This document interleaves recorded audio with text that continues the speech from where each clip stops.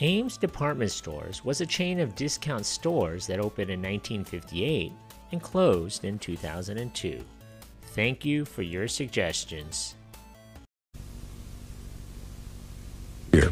She rubs elbows with more famous names than Robin Leach because Ames has thousands of name brand products, all discount priced. Like fashionable P.S. Gitano jeans for ladies. Choose from 100% cotton stone wash, acid wash, or basic style. Now just $14.99. So for the big names, I say, I've never seen so many famous names. Robin Leach? come to Ames. Ames. We grew up with better values. The company was founded in 1958 with a store in Southbridge, Massachusetts. Two brothers, Milton and Irving Gilman, opened a general store in the old mill in Southbridge, Massachusetts. The Gilmans took the name of their store from the name of its site's old tenant, the Ames Worsted Textile Company. In starting out their business, the Gilmans sought to fill a niche in the retail industry that had previously been ignored. They did so by opening a discount store in a rural area where there were no other large competing stores around. When this formula proved profitable, the Ames Company was incorporated in 1962. Many of the first stores were converted industrial sites, such as the first store in a former textile mill. Ames exploited the availability of cheap real estate in this manner in the first decades of the company, later moving to custom built store facilities that provided standardized planning and marketing. Ames stock was added to the American Stock Exchange in May of 1967. The company later started trading on the New York Stock Exchange in November of 1972. Ames expanded steadily, concentrating its growth in the Northeast. In January of 1972, 14 years after its founding, Ames made its first major acquisitions, the Joseph Levitt Corporation and the K&R Warehouse Corporation. Six years later, the company continued its expansion through acquisition when it purchased the Davis Wholesale Company for $1 million, bringing 13 W.T. Grant General Stores into the company fold. The purchase of Neisner Brothers Inc. followed 10 months later for $38 million. Neisner Brothers, which was in Chapter 11 bankruptcy and reorganization, operated 32 stores in New York and Florida. Their acquisition brought the number of stores Ames had acquired during the 1970s to 47. In each of its acquisitions, Ames bought a struggling company, then worked to turn around its operations. In this endeavor, Ames proved largely successful. The company brought in merchandise made by well known manufacturers and sold it in bright, well organized settings. Prices were kept low all the time, rather than being set high and then reduced for periodic sales. For advertising, the company relied on direct mail campaigns sent to carefully selected shoppers who lived near the Ames stores. In some cases, this formula succeeded in raising sales by as much as 50%. By 1981, Ames was operating 115 discount stores in a chain that ran from Maine to Maryland. In addition, the company ran 20 variety stores, most of which were located in Florida. All of the company's retail properties were located in small towns or near highways that were easily reached by people living in the surrounding areas.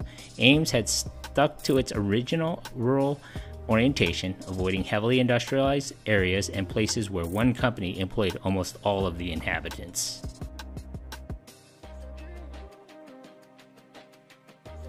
Ames returned to its policy of growth through acquisition in 1984 when it bought KDT Industries Inc.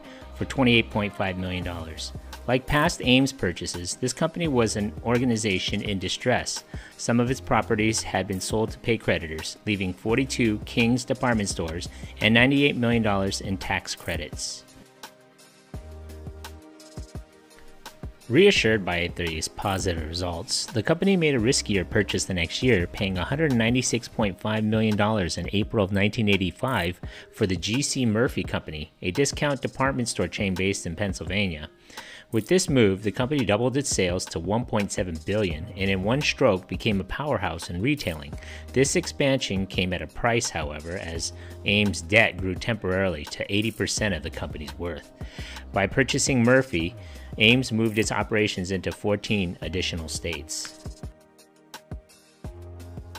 Ames agreed to make its largest and most ambitious purchase to date, pledging $800 million to acquire the discount stores division of the Zayre Corporation. With this move, Ames doubled its number of stores for a second time in three years to become the third largest U.S. discount store operator. The newly combined companies estimated sales of $5.4 billion in their 736 total stores. For its money, Ames got 392 stores located in the Northeast, the South, and the Great Lakes states. While Ames already operated in many of these areas, its stores were primarily located in rural areas, while Zayre's strength was in the urban zones. In 1989, Ames closed 77 discount department stores, 74 of which were Zayre stores that had been racking up annual losses of $20 million. To further streamline itself and sharpen its focus on its largest and most recent purchase, Ames sold off its GC Murphy properties in August of 1989 to E2 Holdings for $77.6 million. Zayre had its own history as one of the oldest and best known U.S. retail chains. In deference to this heritage and to the brand loyalty of many Zayre urban customers, Ames announced in February of 1989 that the company would not change the names of 61 profitable inner city Zayre stores. Eight months later, however, on October 26, 1989, it did reopen 254 old Zayre stores as refurbished Ames stores. By late April of 1990, Ames was staggering from continued poor sales as its Zayre operations, as well as the debt burden brought on by the large purchase and costs of converting stores. Manufacturers were refusing to ship the company merchandise, and bankers were refusing to lend it more money. Finally, on April 25, 1990, Ames was forced to file for bankruptcy, seeking protection from its creditors in Chapter 11 reorganization.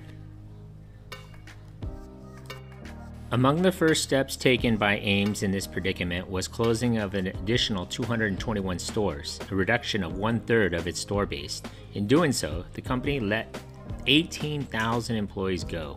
Most of the stores were located in the Midwest and the South.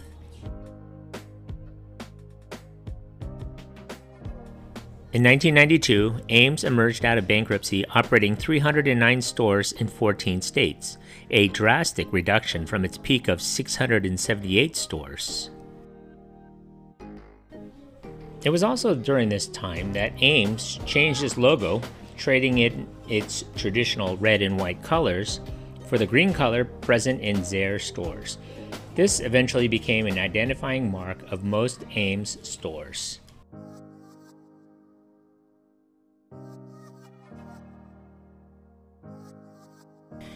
In November of 1998, the company agreed to acquire Hills Stores Company, a struggling 155 unit discount chain based in Canton, Massachusetts. The total cost of the acquisition, which was consummated in March of 1999, was about $330 million. In April of 1999, Ames gained additional units through the $40 million purchase from Caldor Corporation of seven stores in Connecticut and one in Massachusetts. Caldor was a discount chain being liquidated under Chapter 11 bankruptcy protection. The Caldor stores were converted to Ames format later in 1999.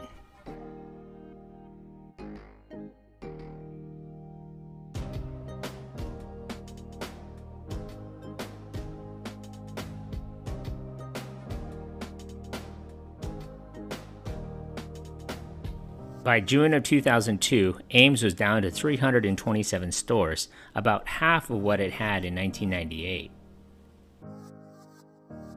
On August 14, 2002, Ames executives announced they would close the remaining 327 stores in the chain and wind down business, converting the Chapter 11 bankruptcy reorganization to a Chapter 7 bankruptcy liquidation. Continued softness in sales, combined with tightening terms and slower shipments from our suppliers, have reduced our funds availability below critical levels. Tonight to the closing of Ames stores across the country.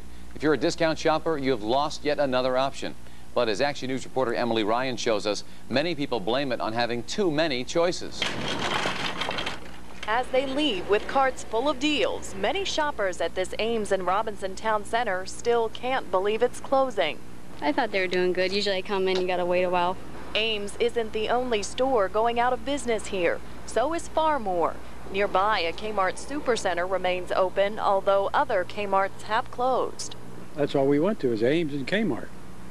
But now we're seeing so many of these other companies that's springing up that had the same products, and it's so much competition today. This Duquesne University business professor agrees, saying the market is oversaturated. With all this tremendous number of stores, what ends up happening is the weaker, the less financially strong, the older stores tend to die away. And that's what's happening with Ames. You don't have to look far from this Ames to find the competition. Walmart, Target, Sam's Club, and Costco, all luring away customers. I'll go where I have to go to get what I need, I guess. We as Pittsburghers shouldn't panic. It is a national trend, and I think we're going to get down to keeping the stronger, more financially viable, the stores that offer us better prices and better merchandise. In Robinson Township, Emily Ryan, Channel 4 Action News.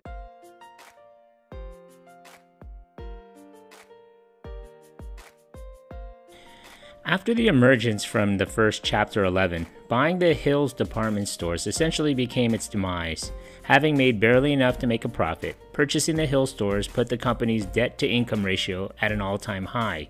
With no other options and creditors pulling out of contracts due to failure to pay, corporate made the decision to file for a second and final bankruptcy. In December of 2022, Molyneux Group, which owns the assets of Bradlees Department Stores plc, announced that Ames department stores would be returning after 21 years, with new locations opening in 2023.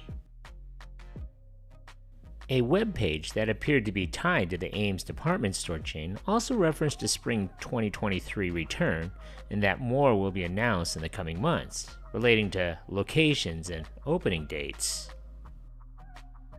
When the announcement was made, those full of hope and nostalgia were looking forward to an Ames return. However, many became skeptical as time went on.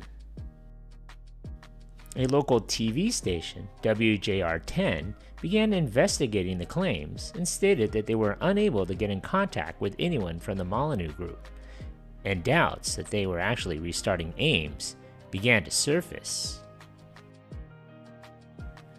It is now spring 2023, or almost done with it at least, with no signs that Ames is making a return. What is even more concerning is that just days ago, the website, amesstores.com, was no longer in operation. The department store's LinkedIn page was still exists, stating a return in spring 2023. The Molyneux Group website link on their LinkedIn page is also no longer active. Biloxi, Mississippi based Molyneux Group, a commercial real estate firm, has issued a press release stating that they have no affiliation with the Ames department stores. So, for those still holding out hope that Ames will return, it can't hurt, and who knows, maybe the retailer will be resurrected once again.